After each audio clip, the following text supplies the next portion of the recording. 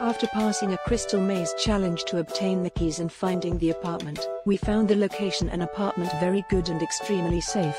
Also, not having to book two nights was a plus as opposed to other options we looked at. You have to collect keys from a different location but you're not told this until 2 pm on the day you arrive, they email you to tell you. Not a major problem but it's at least a 15 minute walk away.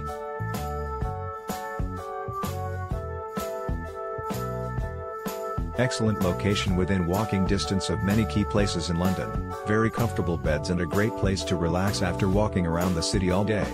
Plenty of towels in the bathroom and tea and coffee facilities were included which was a nice touch.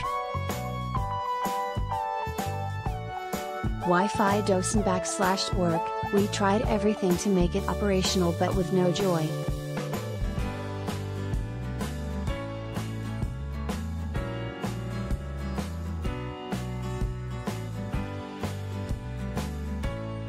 Location for us was good but beware there is no parking anywhere apartment could be really good if things were fixed like the bed, lights, etc.